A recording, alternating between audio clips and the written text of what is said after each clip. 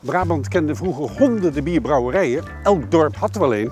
En dat was de tijd dat het gezonder was om bier te drinken dan water. Want water was vaak vervuild, smerig, slecht van smaak. En geschat wordt dat in de middeleeuwen de mensen hier gemiddeld zo'n 300 liter bier per jaar dronken. Ja, per persoon. Hè? Dus baby's en grijsaards meegerekend. Dat is veel. Bier van toen was laag alcoholisch en ook beperkt houdbaar. Maar daar kwam verandering in eind 19e eeuw door de introductie van het zogenaamde Beierse bier. Dat is bier wat vergist onder veel lagere temperaturen. Maar ja, voor die lagere temperaturen heb je een koeling nodig. En die investering konden een heleboel van die kleine bierbrouwerijtjes zich niet permitteren. Dus alleen de sterke bleven over, zoals Bavaria.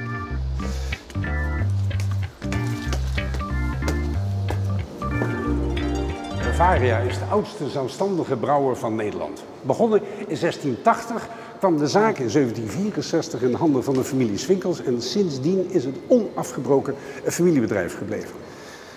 De naam Bavaria werd ingevoerd in 1925 en herinnert aan de oorsprong van hun succes. Want Bavaria is gewoon het Latijn voor Beieren en dat is de plek waar het productieproces werd uitgevonden.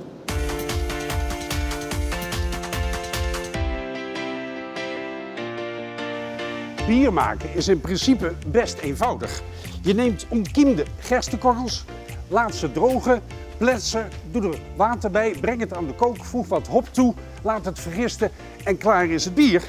Maar ja, om het dan ook echt lekker te maken, moet je dat productieproces tot in de kleinste finesses beheersen. Dus de juiste hoeveelheden, in de juiste verhouding, bij de juiste temperatuur, de juiste luchtvochtigheid, de juiste tijd. Het maken van een goed pilsje is zo makkelijk nog niet.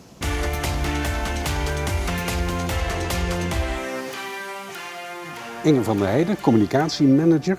Jullie produceren hier jaarlijks meer dan 600 miljoen liter bier. Ik heb het even uitgerekend. Ja. Dat zijn 2 miljard flesjes. Als je die op een rij zet achter elkaar, dan is dat 120.000 kilometer, drie keer de wereld rond. Ja. Dat kan niet alleen voor de Nederlandse markt zijn. Nee, dat klopt. Nee, we zijn wel een op- en top Brabants bedrijf, eh, Bavaria. We zitten hier al meer dan 300 jaar.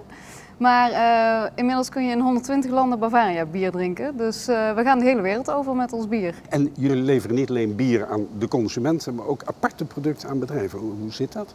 Eh, Bavaria heeft een eigen mouterij op haar brouwerijterrein. Dat is best uniek eigenlijk voor een brouwerij. Wij maken dus onze eigen mout.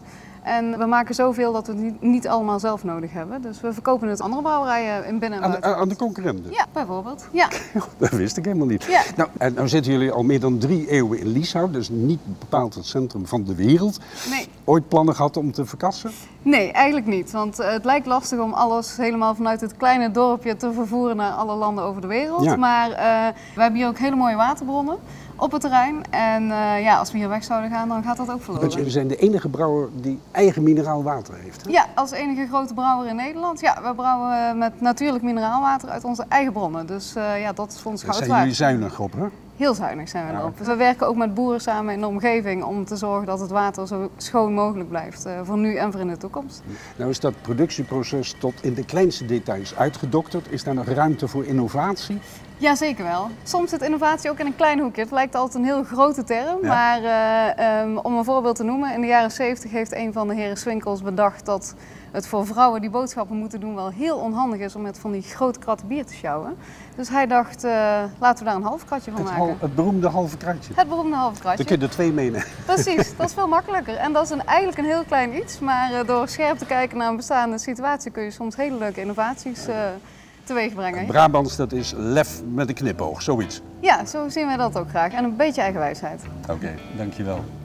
Brabant kent naar verhouding heel veel familiebedrijven, zoals Bavaria. Nou is dit wel een hele grote natuurlijk. Maar vaak is de sfeer in die familiebedrijven een heel andere dan bij beursgenoteerde ondernemingen. Natuurlijk, hier moet ook winst gemaakt worden, het schauken moet roken, maar daar gaat het niet om.